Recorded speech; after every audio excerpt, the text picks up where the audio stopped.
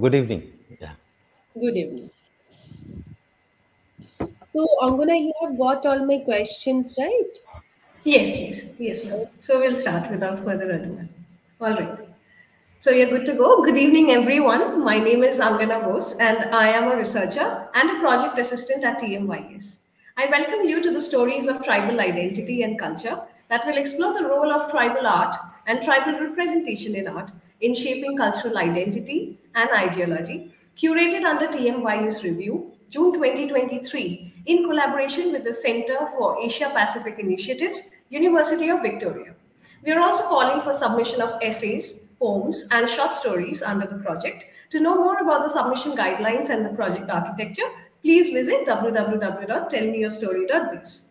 This evening, I consider myself very privileged to be in the company of our esteemed panelists, Mr. Deepak Bara, Dr. Abin Chakraborty, and Dr. Mausumi Bhattacharyya, who will shortly share their views and insights with us. The topic for today's discussion is artistic dissent, dismantling power dynamics by the Adivasi, under the sub-theme tribal identity and culture.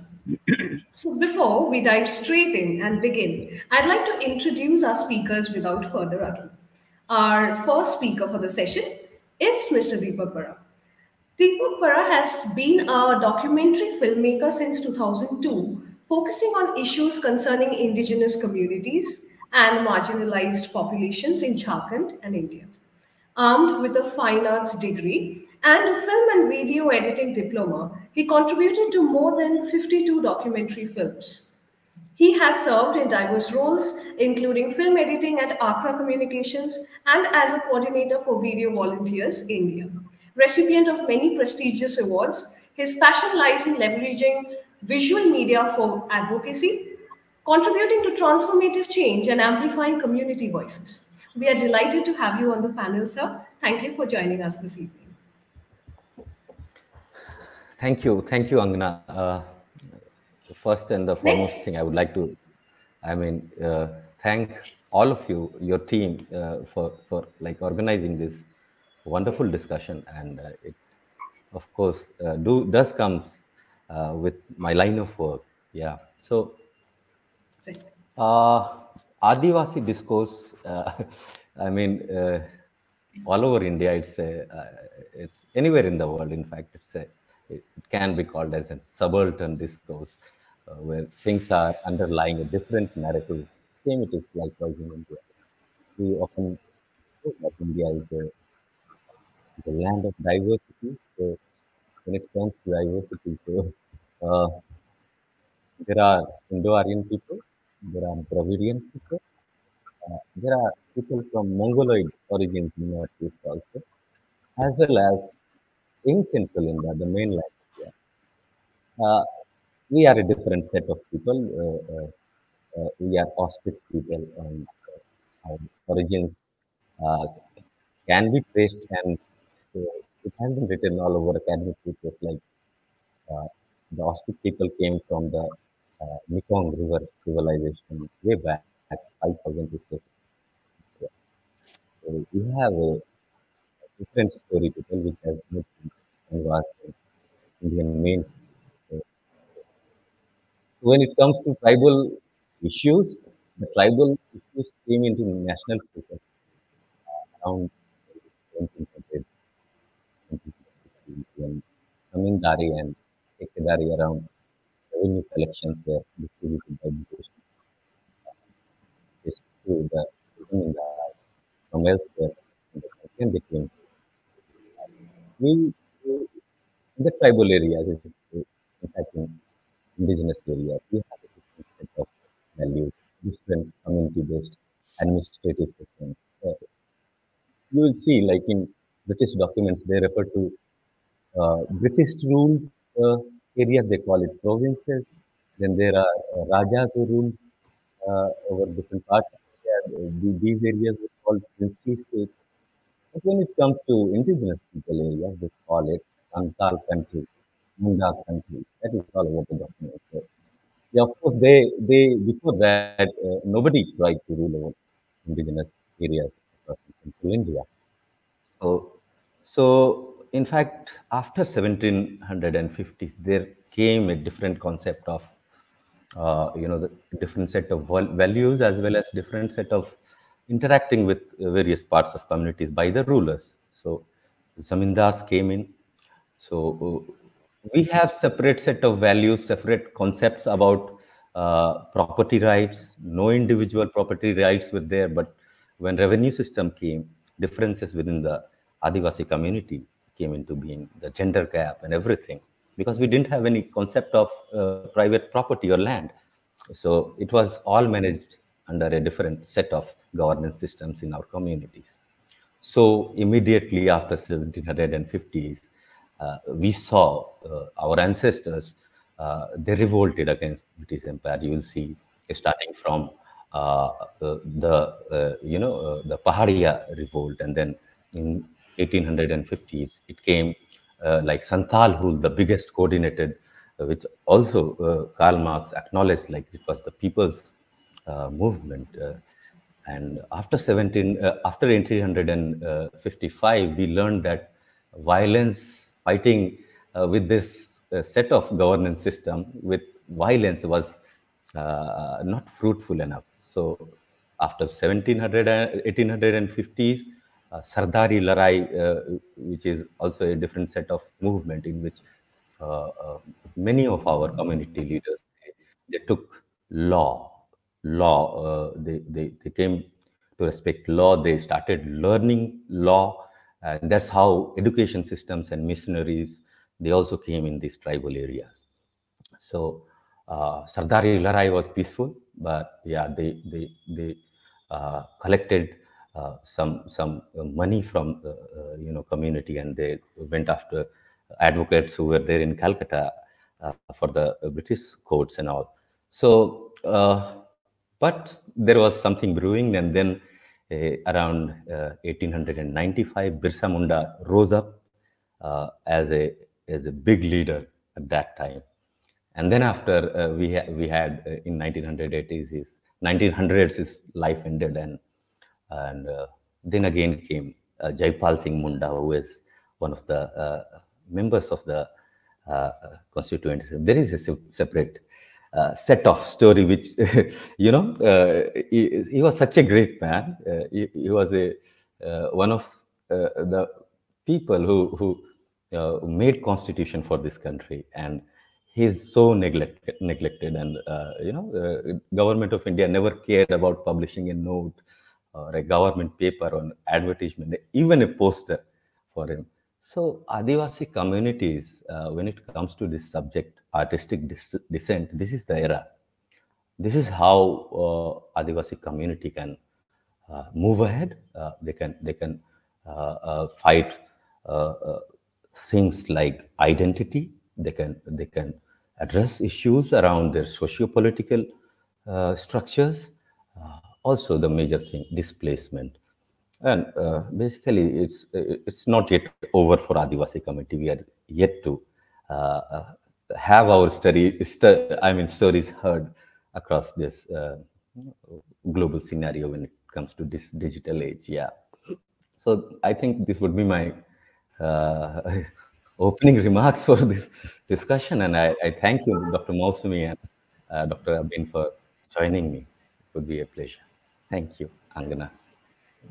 Thank you, sir, for paving the way to the forum of discussion. And now we'll introduce the other speakers, other panelists, and we'll call for their insights respectively.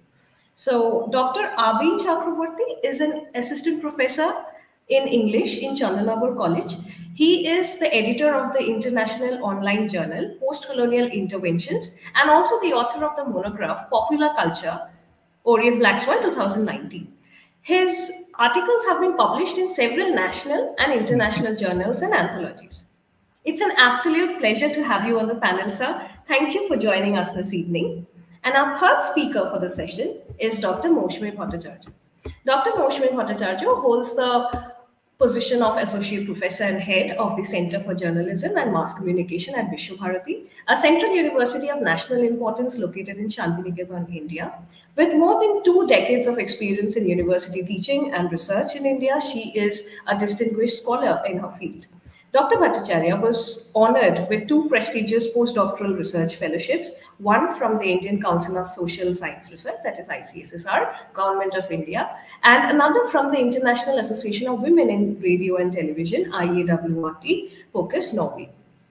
Her notable achievements include the successful completion of the internationally acclaimed collaborative project supported by the Department of State, the USA, the room where it happens, which focuses on digital literacy. In 2016, she was awarded a prestigious scholarship by the US government, study of the US Institute Scholars, that is SUSI Scholars in Journalism and Media program. Dr. Bhattacharyya's expertise spans various fields, including new media, gender studies, convergent journalism, public relations, media education, and mobile communication. Her international recognition extends to representing India in the scientific committee of the Symposium of Asia USA Partnership Opportunities held in Atlanta, USA in April 2013. She has made significant contributions to academia through her work as an editor of books and author of numerous research papers. Additionally, she has served as a paper coordinator for the Gender, Media and Society e-modules under the Media and Communication Studies of the EPG Pathshala program. Dr. Bhattacharyya's commitment to promoting women in media is reflected in her service on the India board of the International Association for Women in Radio and Television from 2015 to 20. She also served as the guest editor of the summer 2014 edition of the Global Media Journal Indian edition. Beyond her academic achievements, she is a pioneering member of the Young Leader think tank, YLTT, of Friedrich Ebert Stiftung, Germany, India chapter, and played a vital role in formulating the youth agenda of India through YLTT. Her dedication to international collaboration led her um, nomination from India for an international learning project for shaping globalization held in Bonn, Germany in 2010. We are honored to have you on the panel, ma'am. Thank you for joining us this evening. Now, let's move to the heart of the discussion and open the forum for discussion further. I would request now, since Dr. Uh, I mean, since the first panelist, Mr. Deepak Bara has already shared his insights, I would like to pass the baton to Dr. Abin Chakraborty to share his insights. Sir, the digital floor is all yours. Thank you, Angana. as far as artistic dissent by the Adivasis is concerned, this is something which has been a part of India's cultural landscape for a very long period of time. As Mr. Deepak Bara has already explained, the subalternization of Adivasis is something that began during the colonial era and was continued in many ways by the post colonial Indian nation state as well, because the modes of governance were not that different from those that were used by the British. And there are a number of different ways in which the post colonial nation state continued to marginalize the Adivasis, whether it is encroachment of forests or different kinds of mining and other industrial projects, the establishment of dams, all of these led to constant erosion of the areas of habitat that the Adivasis would call their own. And those were lands where they had lived for generations, and the memories of their ancestors are also tied with those particular landscapes. And this is not something that the developmental projects ever considered which is why they were ruthlessly evicted uh, at times with compensation at times without compensation.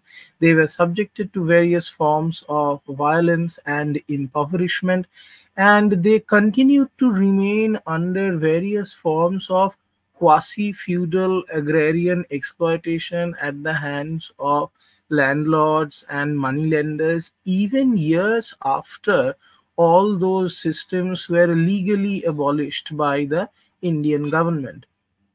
As a result, for for several decades, even after independence, the Adivasis obviously continued to suffer from various forms of subjugation. And in my own line of work, this is something that I have often attempted to examine whether it is by reading the narratives of Hansda Sowvendra Shekhar or the poems of Meena Kandasamy or uh, the poems of Jacinta Kerketta uh, and uh, various such other individuals. And all of the, and if one looks at these texts, one finds certain recurrent themes. For example, the loss of one's own language and culture. Again, uh, if you look at the way in which colonial governments have worked all across the world, there again you will see that it is the European master's language which has often been imposed on the tribes at the expense of their own languages, particularly because those languages did not have written scripts of their own. Something similar also happened in case of Adivasis in India, where their own languages, the kind of myths and literatures and histories that they had, which were often transmitted orally from one generation to the next, they were often decimated because of the official imposition of various kinds of other mainstream vernaculars. And even when, in certain cases, those vernaculars were recognized, the learning opportunities were few and far between. And the areas inhabited by the Adivasis continue to remain underdeveloped and without those basic facilities of urban civilization that we often take for granted. So when you look at, for example, a text by uh, Hansda Sowvendra Shekhar, Adventures in uh, Champak Bagh, which focuses, it is a children's narrative. It focuses on this fantastic dragon-like creature whom the children name Jwala Kumar because it is able to breathe fire. But what strikes me as a reader while reading that particular narrative is the fact that the family of Mohan Chander, around whom the novel, uh, the text revolves, that family does not have access to food. Uh, that family does not have access to medicine. They are often without electricity. Mohan Chander himself is a daily wage earner, and obviously his condition is financially uh, extremely distressing and the schools that are there are also located uh, quite far away which often makes it difficult for the children to travel to the schools which again is essential for them not just for learning but also because of the free midday meal that they would get which is again a very significant source of nutrition and survival for them so all these basic things that we generally take for granted, water, electricity, education, and so on, uh, medical care, and so on and so forth, these remain unavailable to a large portion of the Adivasis even today. One of the things which is often overlooked while discussing the representation of Adivasis uh, particularly the infiltration of Maoist organizations in areas dominated by Adivasi uh, villages and communities, is that much of this uh, uh participation stems from years of neglect and subjugation which the Adivasi communities have had to endure. And again, this is not new this was also the case during the late 1960s and early 1970s when the Naxalite movement had begun. Hundreds of Adivasis participated in those movements precisely to challenge the entrenched patterns of subjugation that they had to endure for generations. And again, in certain cases, in certain parts of India, those patterns of subjugation continue to exist. And that therefore it becomes extremely difficult for the adivasis either to lead lives in accordance with their own customs or practices or to assert their cultural identities in uh, self-sustaining and enriching ways or to plan for themselves a kind of equitable future where they can also aspire to those benefits of modernity which are often accessible to many of us. And it is because of these uh, multidimensional uh, problems that authors who represent the crisis of Adivasi existence in India, in whichever language, they repeatedly go back to these uh, issues of deprivation And what is also remarkable is that in these representations of deprivation, nature obviously plays a very important role because the relationship of the Adivasis with nature is not one which is based on exploitation and appropriation, it is based on mutuality and respect. The kind of mutuality and respect that is often lost in all those uh, corporatized developmental project where the primary focus is profit at the expense of natural resources. When you look at the poems and the representations in different fictional narratives that Adivasi authors often offer, you see that the rivers, the trees, the forests, the mountains, they are not just seen as sources of this uh, mineral or that natural resource and so on and so forth. They are not just seen as sites for the production of electricity or the excavation of uh, different kinds of minerals or uh, creating a highway or a power, power generating station etc etc they are seen as living entities with a personality with a history with a mind of their own with which they consistently interact. Right now, there are uh, large conferences going on regarding the issue of uh, the climate crisis and the ecological problems that the world is facing every day.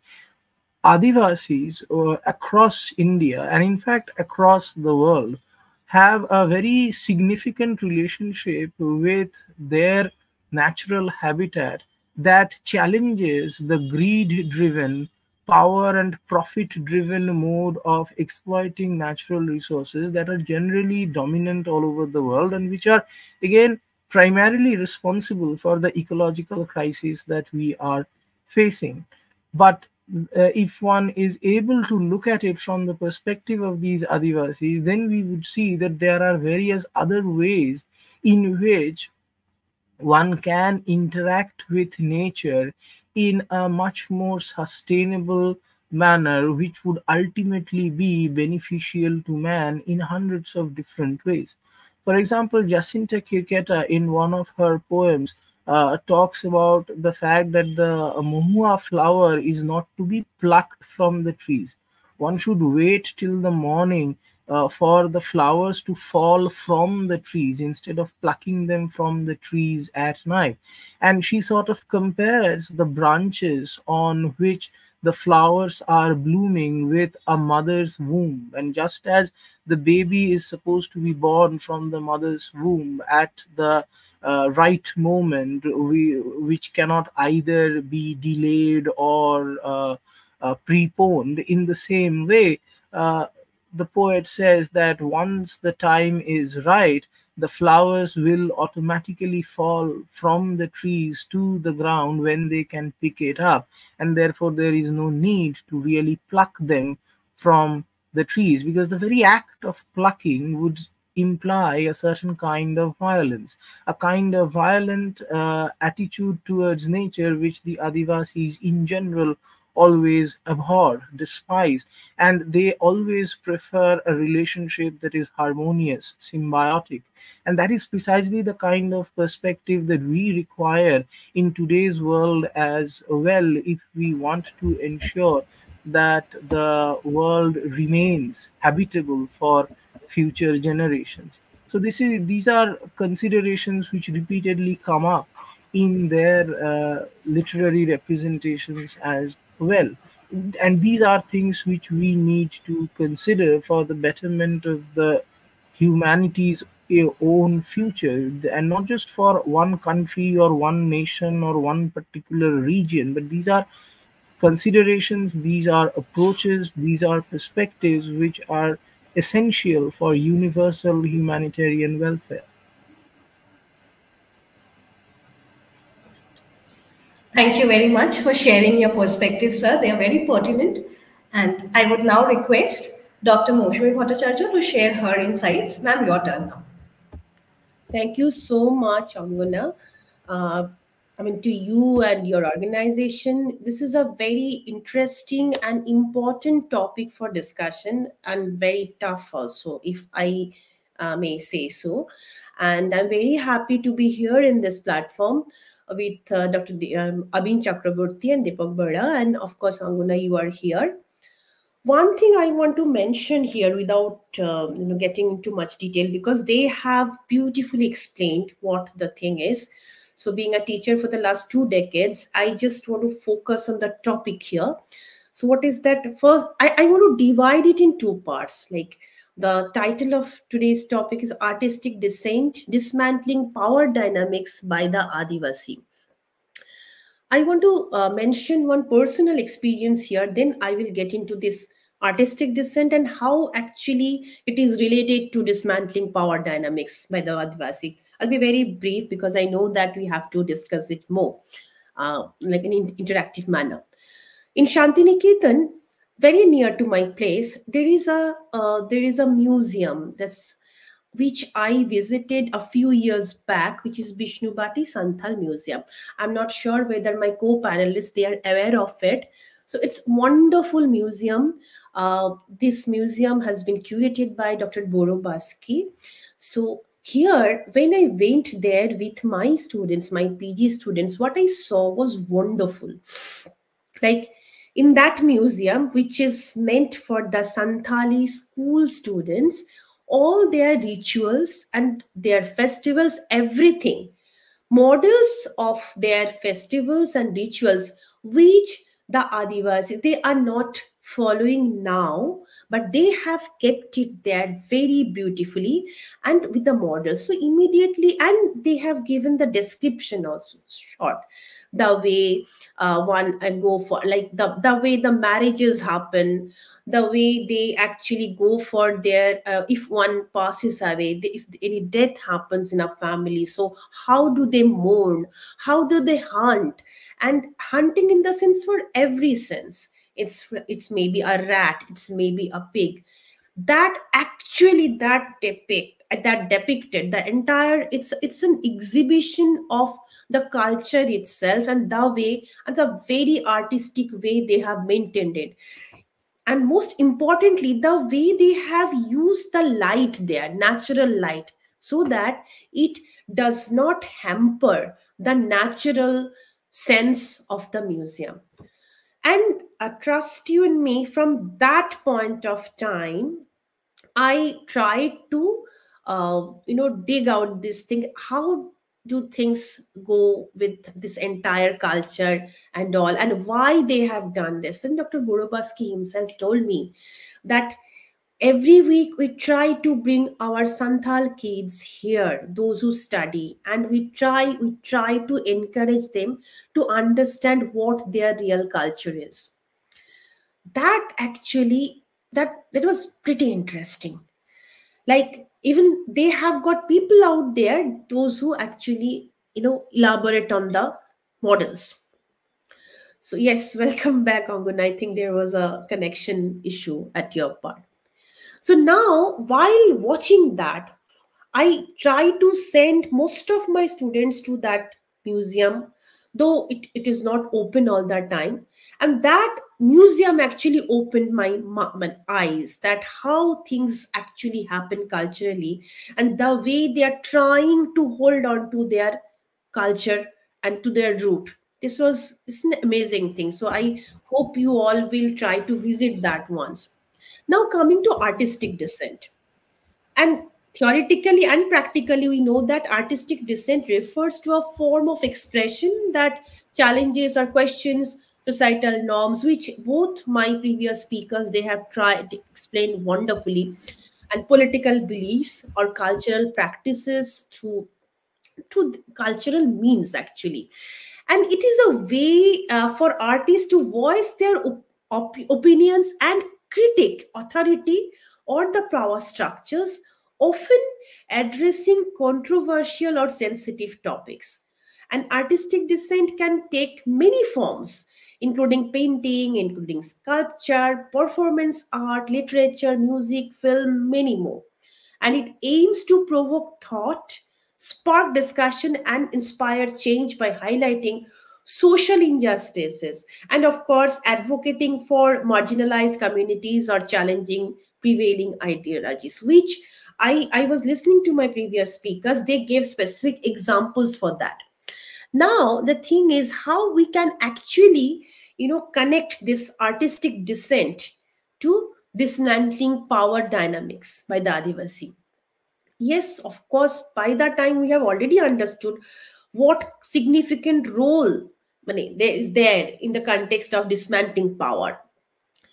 Like Adivasis are indigenous communities in India. Both my previous speakers, they have given a lot of exam- examples on that, who have historically faced marginalization, discriminalization, and exploitation. And through artistic expressions such as, as I mentioned, music, dance, visual art, they can challenge oppressive power structure and advocate their rights and autonomy. I have jotted down five points. We may discuss later on that. Like it can be resistance and resilience, cultural preservation, protest and activism, empowerment and representation, most importantly, alternative narratives. Overall, artistic dissent by Adivasis in India serves as a powerful tool for dismantling power dynamics. Of course, like the way we try to promote social justice. And it's very easy to say, or maybe very easy to discuss in such a panel.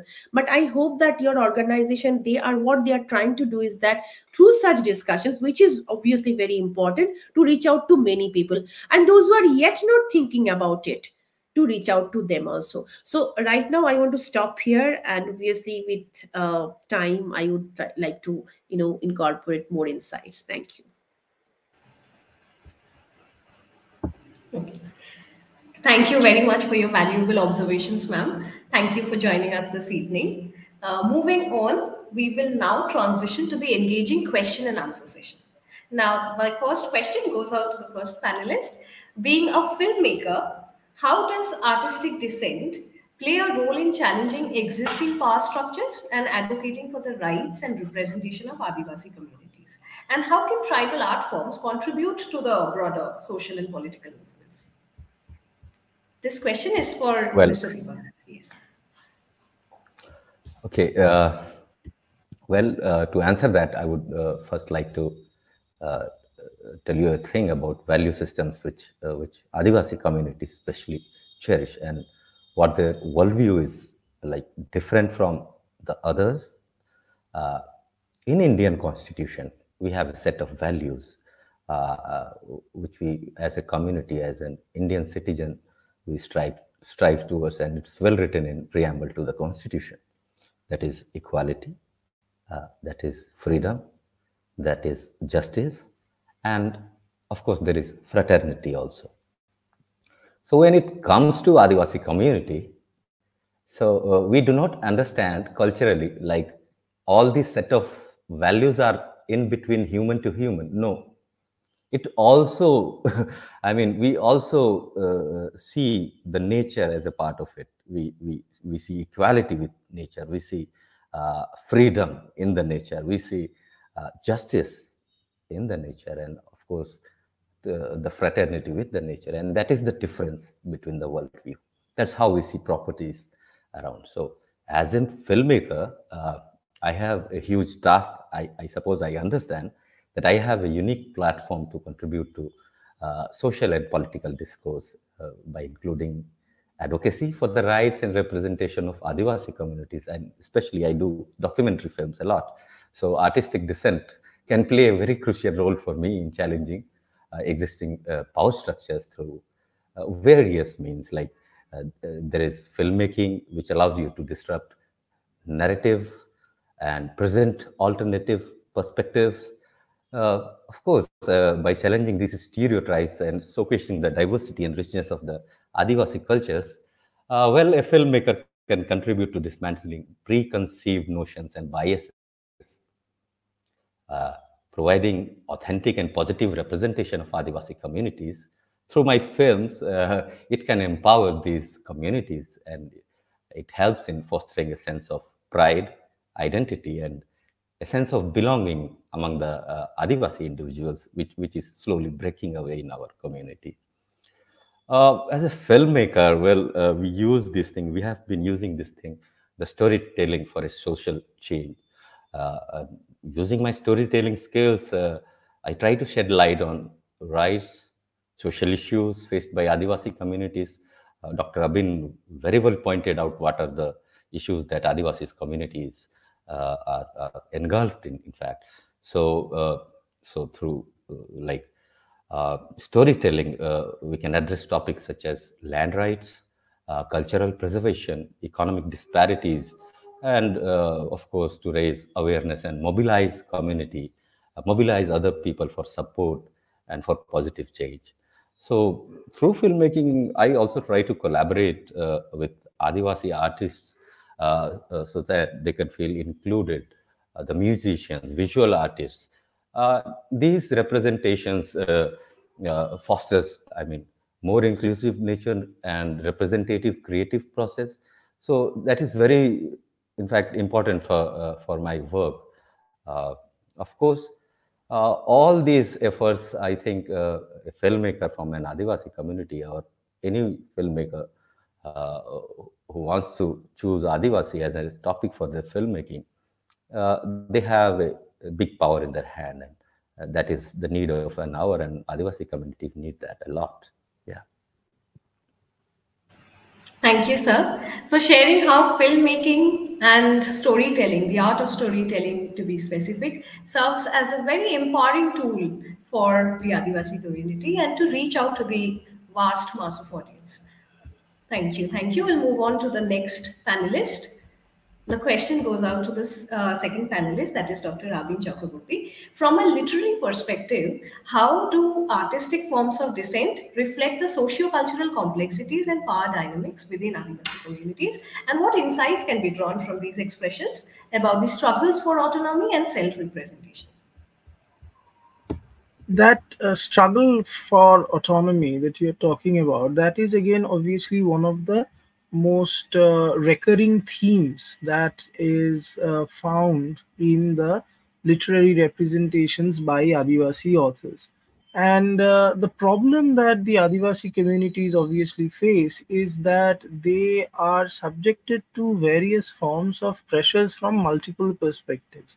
On the one hand, there are religious groups which uh, try to seduce them by offering various forms of infrastructural support, amenities, etc., etc. As a result of which, the Sarna religion of Adivasis living in the Chotanagpur uh, area uh, has become more or less extinct, and many of the Adivasis have uh, converted either to various forms of dominant Hindu rituals or to various forms of Christianity and so on and so forth. And therefore, cultural authenticity is often lost and rediscovering that cultural authenticity is often part of that artistic dissent that we are talking about at the same time, dissent is also directed at various forms of uh, systemic injustices associated not just with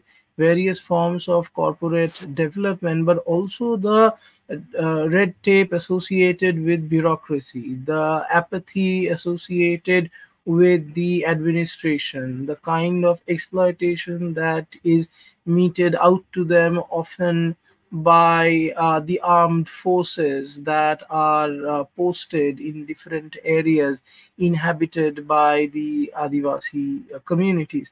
So, all of these pressures are there, and in the literature of the Adivasi authors, we see recurrent reflection of their discontent against such manipulation, against such violence, and uh, the kind of losses that they have to suffer on that account.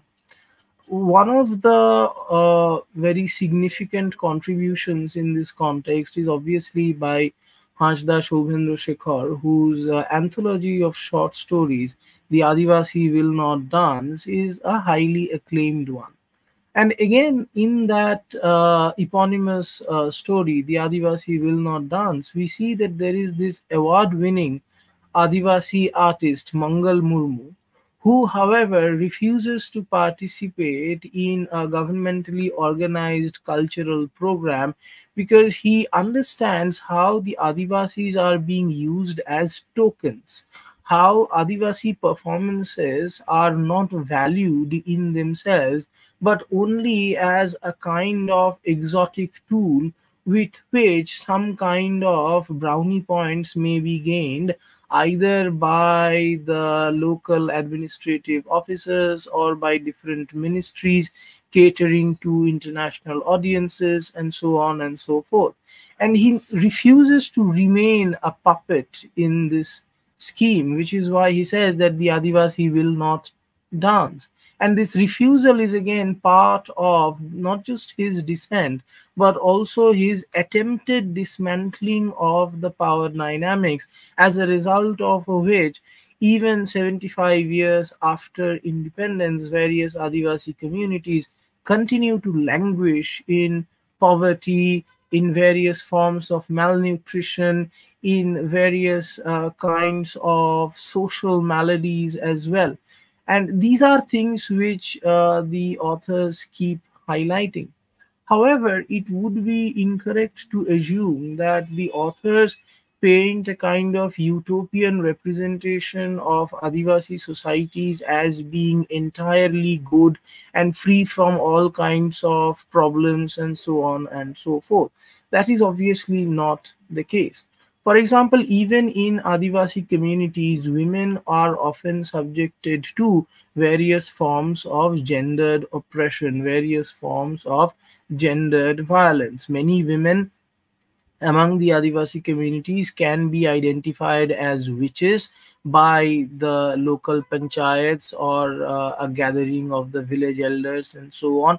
And they may be subjected to various forms of assault on the basis of such identification. There are uh, men who are obviously uh, often extremely chauvinistic to the women of their households and subject them to domestic abuse various forms of discrimination and so on and so forth. The problem for the Adivasi women becomes at times doubly or even triply uh, complicated because while on the one hand they are subjected to various forms of patriarchal abuse from men within their own communities they are also subjected to various other forms of discrimination by men outside of their communities.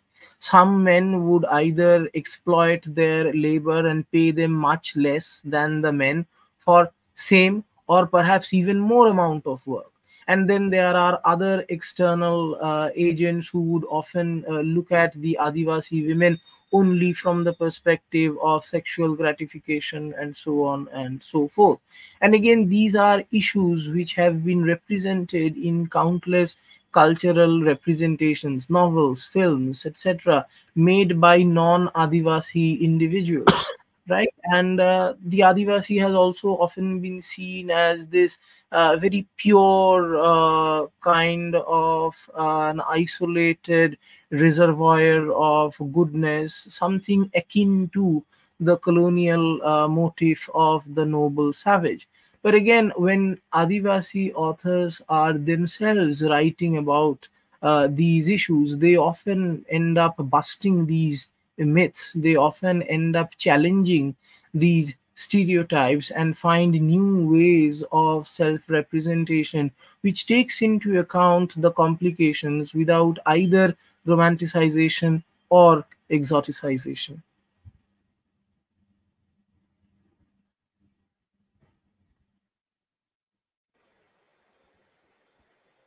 Thank you so much, sir, for beautifully portraying your side and giving a direction uh, from the literary point of view. And thank you for all the examples that you have provided actually uh, shed much light on the conversations to follow.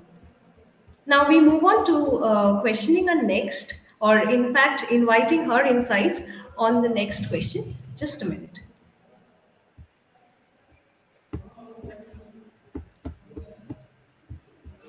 Yes. Now, based on uh, your advocacy work, how does the promotion of artistic dissent harness itself through new media and serve as a means of reclaiming cultural autonomy and challenging. Just a minute, I uh, will again rephrase the question because the question seems to be quite long. Yes, ma'am. Could you provide insights into the role of mass communication in total in fostering community cohesion among Adivasi groups? Yeah, here I would like to, uh, you know, uh, refer to a very recent and important study, which is a research-based, uh, you know, uh, document which uh, has been prepared by uh, Abhirup Bauri and Dr. Rahul Amin which is a very important part, I think, uh, to share with you all here. And they have done a study, very specific study I'm mentioning here. Then I'll be, you know, uh, discussing it generally. It's on the uh, exposure of the Shabur community of Galidi in uh, Galidi in Jharkhand state, um, where they have documented about the low level of media exposure of the the Adivasis to both print and audiovisual media. I'm very I'm becoming very specific here. And of the total respondents, only 2% reported having the habit of reading newspaper and this was found to be a female practice while males kept newspapers at bay. Very interesting finding. Men were not television viewers either, a trend noted among females also. The study also noted low listener levels for radio among the residents. From such trends, the researchers concluded about media penetration being low among the Shabur community, which is a largely illiterate, marginalized community of Adivasis. Now, as I have mentioned the specific study, now I want to elaborate it further. Like such low exposure to education and to media interest and the outside world through media, like contributes to the continued segregation of Adivasis and other communities, which in turn accentuates the need for increasing social cohesion among and within Adivasis and the tribal groups.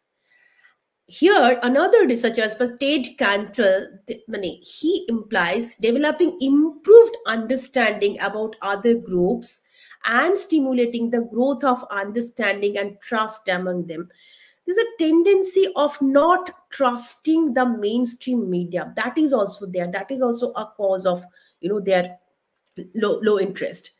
And Cantle leads to dismantling of stereotypes and held misconceived notions about other groups.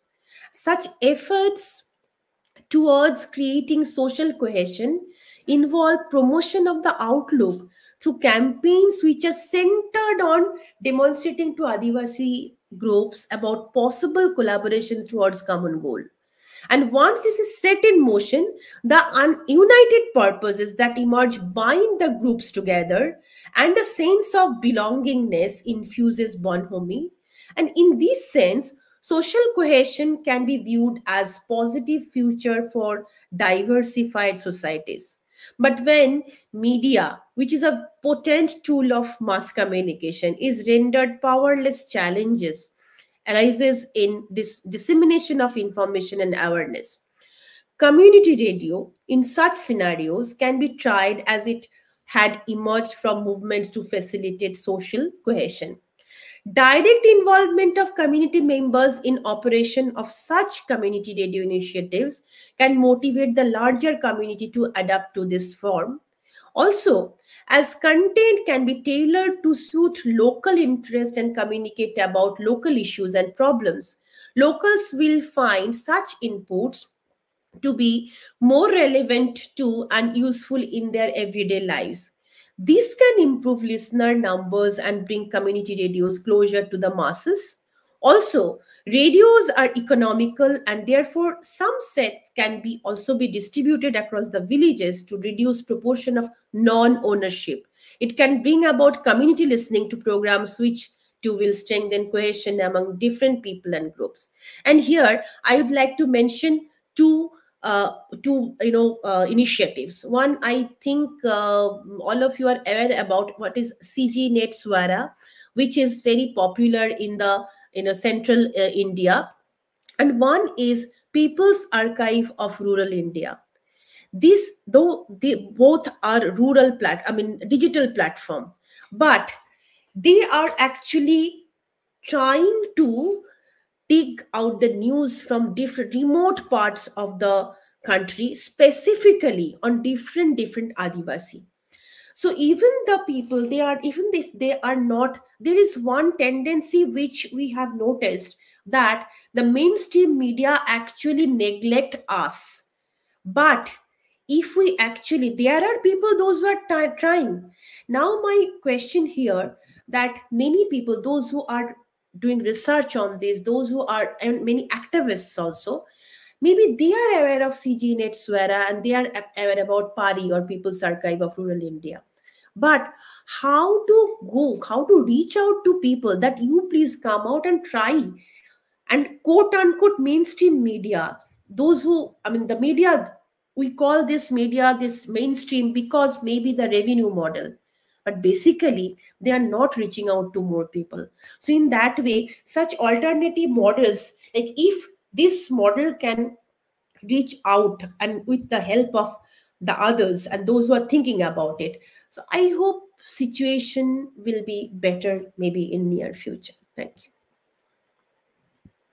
thank you ma'am for uh, very proposing very viable perspectives very doable solutions Thank you, ma'am. Again, moving back to our first panelist, I would like to put this question forward that could you elaborate on the significance of media and social activism acting as voices of dissent? And how have these expressions evolved as a tool for advocacy on Adivasi issues of cultural resistance and identity assertion? Okay, so, well, uh, I started my uh, filmmaking career as uh, when I when I came back to uh, Jharkhand after finishing my studies in Pune, uh, I found out like there is no filmmaking around here in Jharkhand. So to fill that gap, I started documenting people's movement. like there is always people's movement in tribal areas across India, either it be for dams, power projects, mining, or even uh, protection of wildlife. Uh, so, so I mean, Adivasis are seen like uh, they are separated from forest. They are uh, a separate thing. They, they do not have anything to do with the forest. But this perspective has been changing. So I started my uh, work uh, uh, around documenting people's movement and making documentary films around it. And whatever work before 2010 uh, you'll find it my uh, LinkedIn profile that all those uh, videos and films I have done for the tribal issues. So after 2010, there there came a change in me. Like I I, I started collaborating with many groups. One of the groups. Ma'am very well mentioned the CGNet Swara. So I was with another group which were doing mobile based, uh, phone based, mobile phone based journalism across India. And uh, uh, we used to wonder before designing the project, how would the world be if, if the world is seen through the eyes of marginalized communities, whether it be Adivasis, uh, minorities or, or Dalits or, or even women. So, so we started a campaign. We, we, we started training uh, various social activists who were assisting community across tribal areas. Uh, uh, so we, we trained them, we, we built a module and we trained them how to use mobile phones uh, for, you know, community journalism. So what we would, they would used to do, they would, they would do a script and they would identify an issue. Uh, they, they would shoot interviews and uh, all the uh, evidence-based footages that would go along with the story and a very beautiful three minute informative piece about the issues, especially which the community is going through. So after producing these, these videos, three minute videos, they would straight away go to the uh, the person responsible for the issue. Basically, they used to document on various issues like entitlements, arts and cultures, belief systems, genders, displacement, and, and a lot, water and whatnot. I mean, so the disparities uh, which uh, uh, Dr. Abin pointed out, that rapid development which Adivasis are uh, not accustomed with, they, they have not dreamed like the, the rapid development which uh, has come across.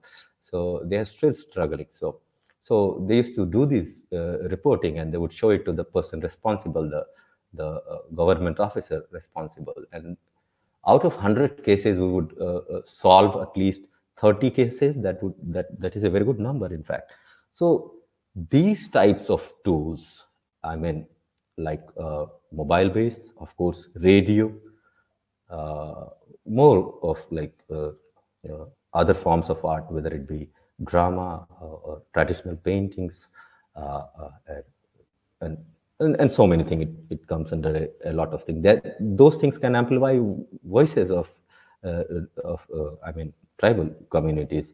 Also, these tools can uh, uh, disseminate information uh, for the sake of cultural, social, and economic cha challenges that that is being faced by the Adivasi community. And they could inspire public opinion. They could, in fact, catalyze those opinions and and advocate for policy changes, uh, which media and social activism, if, if that goes well hand in hand, uh, that that that that can shed uh, light on discriminatory practices or insufficient legal protections or uh, that activists can advocate for policy changes uh, to promote cultural preservation, land rights, as well as social justice, which our constitution streams of.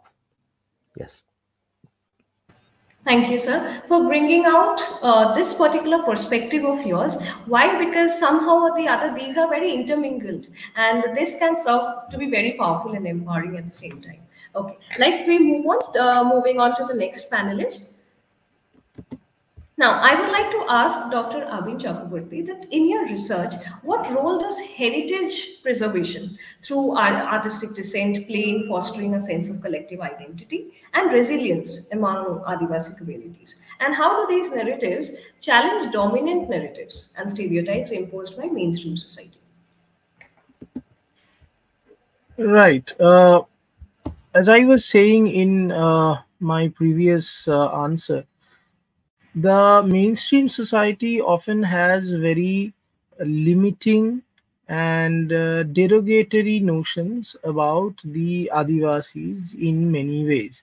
And there are various kinds of nicknames that are often used, right? They are often called junglies and uh, they are called by many such other names, which signify a sense of civilizational uh, regression or inferiority or cultural backwardness etc etc but when adivasis start writing their own narratives when adivasis start representing themselves they obviously end up debunking uh, these myths that are fostered by the mainstream communities for example, uh, Jacinta Kerketta, in one of her poems called Intizar or Waiting, says they're waiting for us to become civilized and we are waiting for them to become human.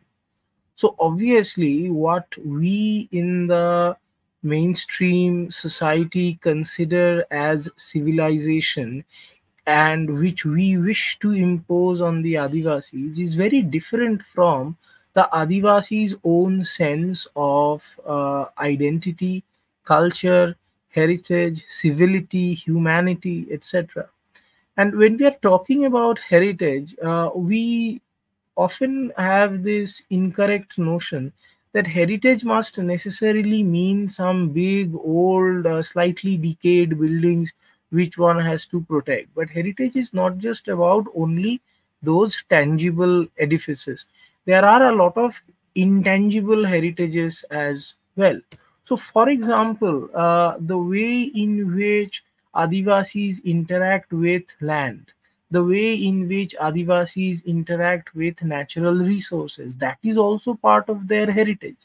And again, I was talking about uh, that uh, short story the Adivasi will not dance. And there, through the voice of Mangal Murmu, we can look at different kinds of crises which the Adivasi communities have been subjected to because of the kind of civilization that the mainstream society is trying to impose on them. Uh, one of Jacinta Kerketta's uh, poems focuses on mohua flowers. And again the collection and selling of mohua flowers is something that adivasis have been doing for a long period of time. But in those areas when there is a mine established for collecting and transportation of coal when a thermal power uh, generating station is built which again requires a lot of coal. Then what happens is that the coal or of soot and cinder they become dissipated all across the area. The trees become black the land becomes black. And uh, we hear from the, the narratives mm -hmm. how the paddy that they have uh, that they have been growing how the rice that they eat is no longer white but it has become black because the soil gets mixed with the coal. How the trees themselves are turning black how the fruits and flowers are no longer blooming and flourishing as they used to which means that the economic basis of their existence is being challenged. And that's what again would also lead to migration and uh, migration again brings with it various other kinds of challenges as well not just to livelihood not just to the family structure but to one's cultural identity as well. Because if somebody is forced to migrate from one district to another depending on seasonal agriculture and so on and so forth then following the cultural rhythms of one's own community becomes almost impossible. And then one's culture instead of becoming a part of one's uh, everyday existence uh, a part of one's organic social life simply turn into certain vendable commodities certain fragments that can be showcased in this uh, festival or that cultural program or that function here and there for the benefit of others. And these are issues which repeatedly crop up either in the writings of Hansda Sowvendra Shekhar or in the poems of Jacinta Kerketta or in various other texts that are written by people belonging to Adivasi communities in the northeastern part of India.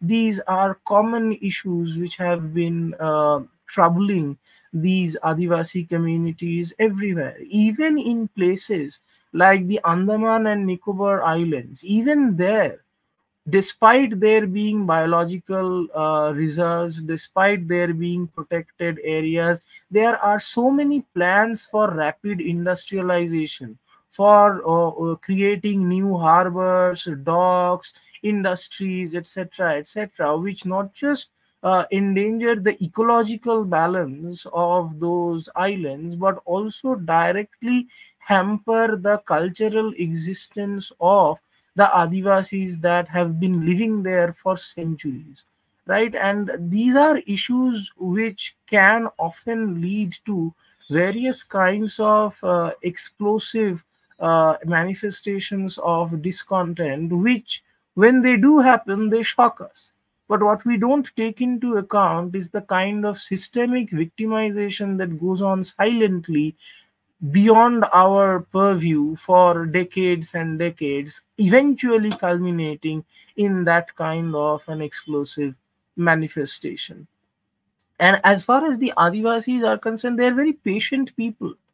They don't generally resort to uh, those explosive uh, moments they keep on tolerating for generations and generations the kind of uh, subjugation that is inflicted on them, the kind of miseries and tortures. They are basically peaceful, which is why they keep accepting all of it as somehow part of their lot, somehow part of their destiny. But obviously, eh, it can't go on forever. And there are moments when the dam sort of breaks and then uh, we sort of uh, sit up and take notice but once that moment is past we again begin to forget and ignore the kind of problems that have been ailing them and uh, that leads to simply the continuation the proliferation of the earlier patterns of victimization and these are issues which the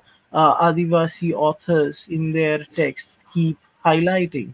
So yes there is resilience. Yes they keep uh, talking about the kind of uh, troubles the kind of adversities their forefathers had witnessed and they keep uh, uh you know participating in the processes. They keep tolerating the kind of oppression that is uh, meted out to them. But then again their uh, heritage their uh, uh history is also about resistance. And that resistance is something which is also ingrained in adivasi existence. And uh, that is why uh, after a point of time when that threshold of tolerance is crossed it becomes impossible to further negotiate with them and they become steadfastly opposed to anybody who is trying to uh, externally manipulate or uh, subjugate them in any way which is again extremely problematic for the future of uh, democracy a democracy can only sustain itself if all the components within that democracy are able to gel towards a possible cohesive future. But the way in which in india for the last various decades we have been uh, subjecting the adivasis and various other marginalized communities to different forms of oppression much of which has not really been remedied, it is extremely difficult to imagine how that kind of cohesion can be sustained in the future. Thank you, sir, for painting a very real, a realistic picture and a very nuanced uh, perspective towards heritage and heritage preservation. Now, moving on, uh, we'll also be asking Dr. Mausumi Bhattacharyya about her particular perspective on now, uh, while I was going through the works, I found that uh, I, I'm all ears and I'm very curious about how can the principles of cultural sensitivity and collaborative storytelling empower Adivasi communities to shape their own narratives and advocate for their rights? Uh, thank you for the question, Angana. Actually, we already have one filmmaker here, so he has already explained the way they you know uh, use storytelling for this. And all i was uh, listening to that. And uh, the way uh, dr abin chakroborty was also talking about the literature perspectives and all especially while he was mentioning about that book that the adivasi uh, will not dance. Actually i have uh, gone through that book very recently. So yeah and i think there is some kind of series will be made on the basis of that uh, I know book. So I'm not sure. So I'm also eagerly waiting for that. Anyway, coming back to the question, I would like to mention one very interesting uh, research paper of Lucas Beatty, where what you are talking about the collaborative storytelling. So, collaborative storytelling as a conversation centric activity which attempts actually to uh, produce a narrative discourse wherein narrator or narrators of stories recount tales about past happenings and occurrence including narratives of protagonists whose actions have contributed uh, in altering the underlying situation. I think uh, our filmmaker panelist will be able to you know understand this the way where i'm actually coming from. And in this sense collaborative storytelling is about also recounting of the history of communities and how they have struggled against challenges and overcome them. And participants in such sessions either add to the narrative being orated or guide its course towards authentic recalling of sequences which i have noticed in many cases. And such storytelling is not a creation of uh, is not a creation of culture only and therefore is distinct from documented stories And it has thus been um, opined by scholars, many research scholars, that the exercise performs these specific functions. And the first is presenting the narrator as credible and important through subtle manipulation of the listeners. And the second is passing on information related to survival in a very low, co- I mean, very cost effective manner from which the audience can benefit. And the third and the most important is fostering cooperation within the groups and bonding with other groups and societies. And storytelling thus acts as that glue which holds the communities together by creating uh, collective memories and also creation of social history. For Adivasi and other groups whose exposure to mainstream activities and social orders uh, remain limited, collaborative storytelling is a vital path though uh, which greater degree of cohesion and cultural sensitivity can be achieved and also, collaborative storytelling can act as a reminder to Adivasis about their rich cultural and traditional backgrounds and their indigenous art forms, which are appreciated by wide area of viewer beyond their immediate surroundings. As I was mentioning in my initial remark about that Bishnubati Santal Museum.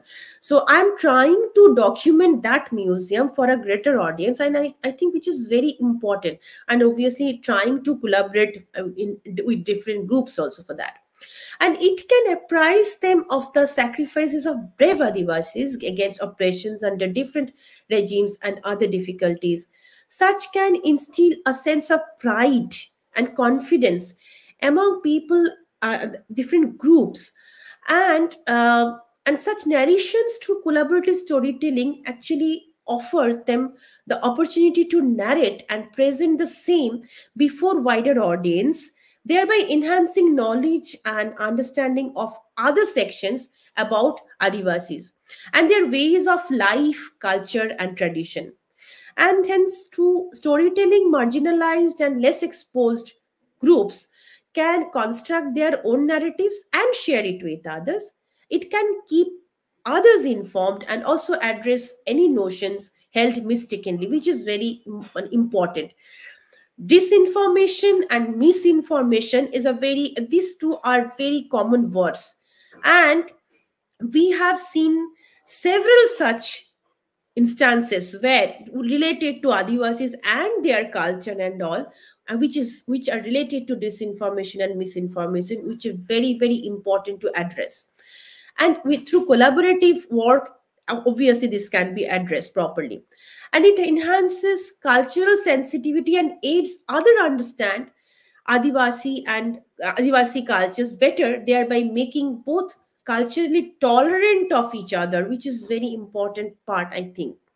And this can also stimulate bonding between general groups and Adivasi groups, which are augurs well for society in general. Thank you, ma'am, for providing ample food for thought. Uh, we'll move on to our first panelist uh, for his insights on this particular topic. Like, for example, what are the major obstacles faced by Adivasi artists in articulating their dissent through through artistic means, and how can the community-driven initiatives, international collaborations amplify their voices to achieve social justice, inclusivity? Uh, the uh, Angana, uh, I heard to uh, Dr. Abin, and uh, it's still the poem is still ringing in my head. There is a poet. I mean, uh, his name is uh, Anura Anu Anuj Lugun. Sorry, Anuj Lugun. He is stationed in Gaya University in Bihar. He wrote a wonderful poem that I used in one of my films. So the poem goes in Hindi, and it's like this: "Ki हमारे जंगल में लोहे के फूल खिले हैं। हमारे जंगल में लोहे के फूल खिले हैं, बॉक्साइट के गुलदस्ते सजे हैं। हमारे जंगल में लोहे के फूल खिले हैं, बॉक्साइट के गुलदस्ते सजे हैं। कल एक पहाड़ को ट्रक पे मैंने जाते हुए देखा। उससे पहले नदी गई। कल एक ट्रक को, कल एक पहाड़ को मैंने ट्रक पे जाते हुए देखा। उससे पहले नदी गई और अब खबर फैल रही है कि मेरा गाँव भी यहाँ से जाने वाला है। So that's that's how Adivasi, Adivasis are experiences experiencing the resistance I mean that's that's that's the world view of Adivasi and what is happening in the daily life so Adivasi artist are also facing the same issues which their community is facing majorly as uh, uh, ma'am told us like uh, there is marginalization and stereotyping like adivasi artists often encounter marginalization and stereotyping in mainstream media. You'll hardly find anybody tribal or Adivasi in mainstream media. So stereotypes uh, perpetuated by the external forces can undermine the richness and diversity of the Adivasi cultures, which uh, other panelists have rightly I mean, pointed out. So Adivasi artists, they have limited uh, access to res resources. I mean, so lack of access of education also, resources, also platforms uh, to, to promote uh, the Adivasi artistic talents or, uh, I mean, mainstreaming them into institution and so that uh, it, it can uh, cannot hinder to the growth of Adivasi artists as well. So, of course, Adivasi artists, uh, they are stationed somewhere in their communities. That community is facing land displacement and also cultural erosion. Uh, our panelist pointed out there is language. Language is not a simple, uh, uh, I think, any like any other tool. Language is something which carries ancestral knowledge and knowledge systems of the community. And uh, slowly, as we uh, as we are uh, mainstreaming all the communities into a, a, a, a single binary, I mean, uh, uh, Adivasis are losing their uh, language, their culture, and everything, their understanding towards the nature. They are also forgetting their bonding with the nature also. So there is loss of their ancestral lands, which inspires them. And artists are like they are being deprived of their connection to their own roots and traditions. There are language barriers Adivasi uh, communities are smaller in number. So it's it's like a, a, thing of marketability. If you are going to publish in Santali language, a, a, a book in Santali language, it, it, doesn't have any uh, financial plan to it, and it's going to fail. Any any publisher would struggle to uh, do so. So I mean, there are language barriers. We have to uh, bridge those gaps. And there are economic challenges. Most of the Adivasi artists uh, they are very poor. I have seen Adivasi artists dying of simple diseases because they didn't have any money or any uh, any uh, you know not a structure from the government to to to save these guys. So community driven initiatives and uh, well the international collaborations can could uh, do the cultural preservation programs. They can uh, they can I mean focus on community driven initiatives towards preserving uh, cultural practices. Uh, of course, uh, education is the key thing. It, it, it, comes with the empowerment. And also, all this collaboration could create a safe space for community narratives to come out. And uh, most importantly, the, the promotion of Adivasi-owned platforms is a must to, to get a first-hand account of uh, of these stories or, uh, or this dissent. So international collaborations, exchanges with other indigenous groups across the world would help this. Uh, I mean, of course, they can these collaborations could help in advocacy for cultural as well as social political rights as well. So we do need financial support uh, along with the fair trade practices in this uh, in this uh, whole scenario of art and its dissemination across the world. I mean, uh, I happen to remember, I mean, there is a place in Jharkhand which is Hazaribagh, and Hazaribagh has a very rich, you know, there is a, a rock art site where prehistoric painting is there and next to that uh, that uh, prehistoric uh, archaeological site i mean there is a cluster of villages and these villages uh, women in these villages especially they they practice a, a, tribal art form, which is Sohrai and Kohbar, that is wall painting. Uh, they paint their walls in, in, in natural colors, uh, the, like red, black from the ash, red from the red mud, yellow from some other thing. And this is uh, uh the type of painting which, which, uh, which is uh, absolutely similar to the painting depicted in those rock art site.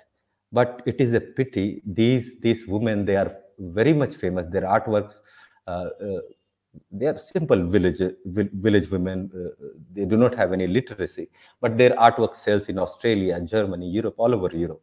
Uh, uh, they have been to these places, but of course they are not profiting from. Uh, I mean, the artwork that they do, and also they, they they cannot express the story behind their art, and they cannot even express like this is a tradition of uh, uh, women holding the culture throughout generations because this art form uh, of wall painting, uh, their mud houses, that comes with generations. Mother teach their daughters and all.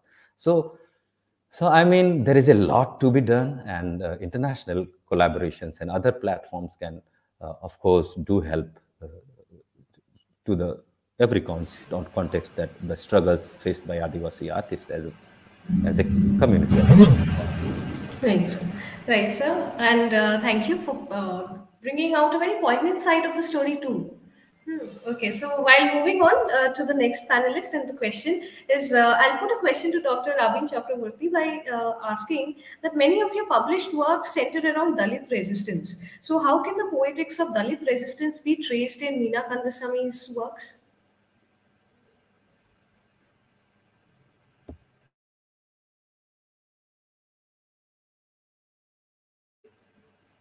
Hello, sir. Right. Uh, am I audible? Yeah, yeah. I just uh, the mute button was uh, being a bit naughty. Uh, as far as uh, Meena Kandasamy is concerned, Meena Kandasamy is a Dalit poet who has been writing in English for more than a decade now, and uh, her poems are particularly militant. And uh, one of the things that we know uh, from Kancha Ilaiah is that the condemned must learn to condemn others. And it is that note of condemnation, it is that note of counterattack, which is most prominent in the poetry of Meena Kandasamy. And through her poems, she targets various forms of dominant, orthodox, Hindu mythology, culture, scripture, and various cultural and political icons in order to create a space from where uh, the possibility of the emergence of a Dalit identity as being equal, as being empowered, can become possible.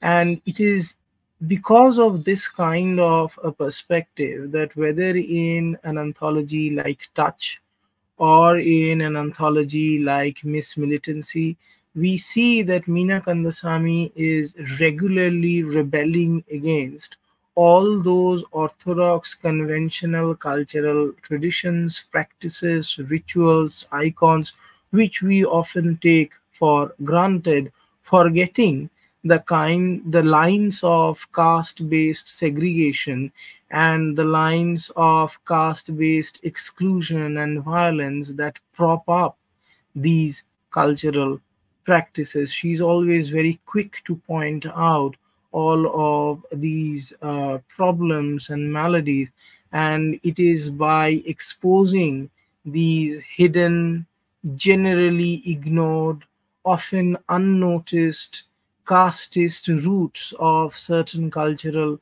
practices that she tries to dismantle ideologically the kind of casteist uh, thought envelope in which we are often shrouded.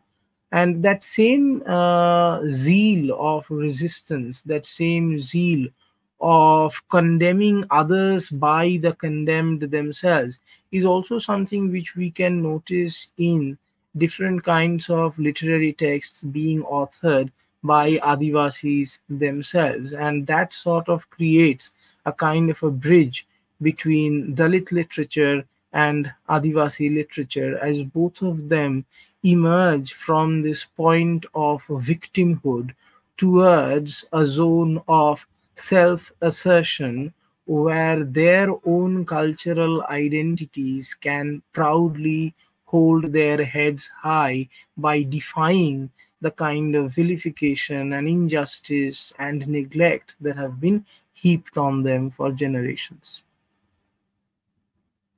Thank you, sir, uh, for your insights. And while we are running out of time, we'll, I'll just quickly go on to the last question of the session. That is uh, the last question to be put to Dr. Mausumi Bhattacharyya. As social media continues to play a pivotal role in shaping public discourse, how do you see Adivasi communities leveraging digital platforms to engage with a broader audience? Uh, since the advent of information and communication technologies, ICT, the approach to interaction and exchanges have undergone significant transformation. We all are experiencing it. And with popularity and acceptance of social media platforms and social networking sites on the rise, people are finding it increasingly convenient to share information, stay in touch with each other, creating awareness about existing issues and challenges, and also to showcase their talent and work profiles. And uh, such a platform, networking sites are opening up financially rewarding opportunities for many people, right? For Adivasis and other uh, tribal groups, such technological offerings are ushering in a new era as youngsters from such marginalized communities uh, residing in remote locations are being able to interact and exchange with others uh, spread across different states of India and also abroad. I hope Dr. Abin Chakroborty and Dr. Deepak Bara, of course, they are also experiencing it with, uh, with time. And as such, Adivasis resi- residing across Chhattisgarh, Madhya Pradesh, West Bengal, Telangana, Jharkhand, and Orissa are being able to discuss diverse issues of common interest, modify and build up narratives, and also collaboratively demand their rights and privileges. Like the way Tell Me Your Story has organized this panel and they are live streaming it through Facebook. I hope many uh, you know groups they are trying to know, connect to this program. So the obviously this is for such social media platforms they are getting it Young Adivasi musicians are finding pan India, also global listeners for their craft via channels like YouTube, and some are gaining momentum monetarily as uh, well. Facebook groups like I'll I'd like to mention here a few you know specific Facebook group group here Adivasi Resurgence, Gondwana Foundation, then Adivasi Students Network, uh, Kaitur Gondin Friends, Adivasi Yuva Sena, National Indian Tribal Yuva Shakti, and such uh, you know organizations have been formed over the last few years to act as watchdogs against Adivasi and tribal rights, dilution by governments, and uh, and also exploitation by other powerful local and you know national groups. Whenever any such attempt is noticed, information is shared with members of the named groups for information and necessary action. It aids in altering, alerting others and also mobilizes them for demonstration and protest movements. Social media has thus evolved as a cost effective medium via which Adivasis are overcoming challenges of distance in their effort to instill cohesion and collaboration. And though a start has been made, a long way still needs to be covered. And the affinity of social media usage among youths needs to be transmitted among the senior generations also, which is very important. They will also have to be made aware about the advantages of new age media and how to operate the same. They will also have to be guided about how they can explore financial opportunities through social media, improving their living conditions. If these aspects are not addressed, social media usage may remain limited among the young Adivasis and tribals, thereby keeping a notable population outside the periphery. And here I must conclude with this that with this, digital literacy is something which should be which should, be addressed for the young Adivasis who are using this entire platform. Thank you.